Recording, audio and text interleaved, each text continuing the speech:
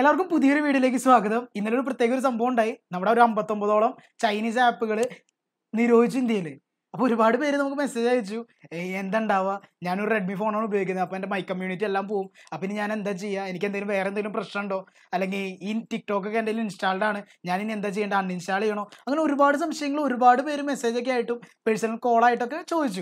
അപ്പോൾ നമ്മൾ ഇന്ന് ചെയ്യാൻ പോകുന്നത് അത് ഓരോ ചോദ്യങ്ങൾക്കുള്ള വ്യക്തമായിട്ടുള്ള ഉത്തരങ്ങളാണ് പറയാൻ പോകുന്നത്. ആദ്യത്തെ ചോദ്യമായിട്ട് എല്ലാവരും ചോദിക്കുന്ന ചോദ്യമാണ് എന്റെ ഈ ടിക്ടോക്ക് പോലുള്ള ഒരുപാട് ആപ്പുകൾ ക്യാം സ്കാനർ എക്സെൻഡർ ഒക്കെ ഞാൻ ഇൻസ്റ്റാൾ ചെയ്തിട്ടുണ്ട്.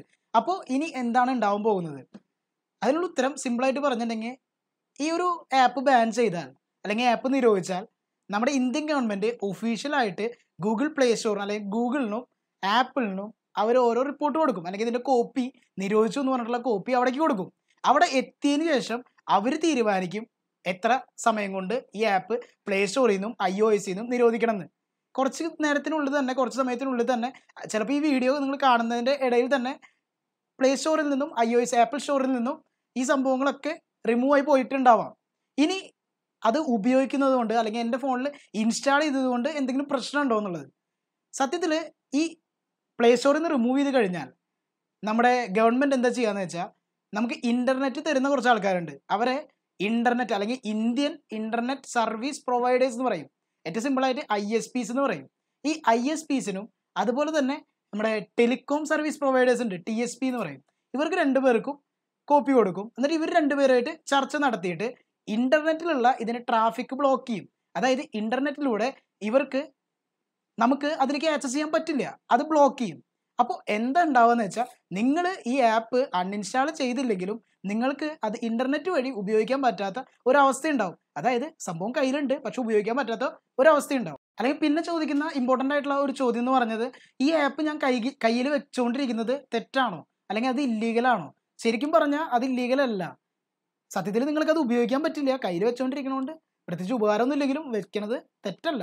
കാരണം ഇന്ത്യൻ ഇന്റർനെറ്റ് പ്രൊവൈഡേഴ്സ് അത് ബ്ലോക്ക് ചെയ്ത് കഴിഞ്ഞാൽ പിന്നെ നമുക്ക് അതിലേക്കുള്ള ആക്സസ് ബുദ്ധിമുട്ടായിരിക്കും. അതിന്റെ ഫങ്ഷൻസ് ഉണ്ടാവില്ല. അതിന്റെ അപ്ഡേറ്റ്സ് നമുക്ക് കിട്ടില്ല. ഇനി അതിന്റെ ഒരു സപ്പോർട്ട് നമുക്ക് കിട്ടാൻ പോകണില്ല എങ്ങനെ വേണമെങ്കിൽ അത് ഹാക്ക് ചെയ്യപ്പെടാം. യാതൊരുവിധ സെക്യൂരിറ്റി ഗൂഗിൾ പ്ലേ പ്രൊട്ടക്റ്റ് അടക്കം യാതൊരുവിധ സെക്യൂരിറ്റി നമുക്ക് കിട്ടാൻ പോകുന്നില്ല. നിങ്ങളുടെ ഫോണിൽ കൈകൾ വെക്കുന്നതുകൊണ്ട് പ്രശ്നമൊന്നുമില്ല പക്ഷേ വെക്കാതിരിക്കുകയായിരിക്കും ഏറ്റവും നല്ലത്. പിന്നെ ഏറ്റവും കൂടുതൽ പേര് ചോദിക്കുന്ന കാര്യം എന്ന് പറഞ്ഞാൽ ഇതൊക്കെ പോയി. അമ്പത്തൊമ്പതോളം ആപ്പ് പോയി. ഇപ്പോൾ ക്യാം സ്കാനറൊക്കെ പോയി. ഇനി ഞാൻ എങ്ങനെയാണ് ചെയ്യുക കാരണം എക്സാംസ് എഴുതുന്ന ഓൺലൈൻ എക്സാംസ് എഴുതുന്ന വിദ്യാർത്ഥികൾക്ക് അറിയാം അവരെഴുതിയ എക്സാംസ് അവർ അപ്ലോഡ് ചെയ്യുന്നത് ക്യാം സ്കാനിലൂടെ സ്കാൻ ചെയ്തിട്ടാണ് സത്യാവസ്ഥയാണ്. ഈ ക്യാം സ്കാനറൊക്കെ പോയി ഇനി ഏത് ആപ്പാണ് പകരമുള്ളത് സത്യത്തിൽ നമ്മൾ ഉപയോഗിക്കുന്ന പല ആപ്പുകൾക്കും ഗൂഗിളിന്റെതായ പാരലൽ ആപ്പ് ഉണ്ട്.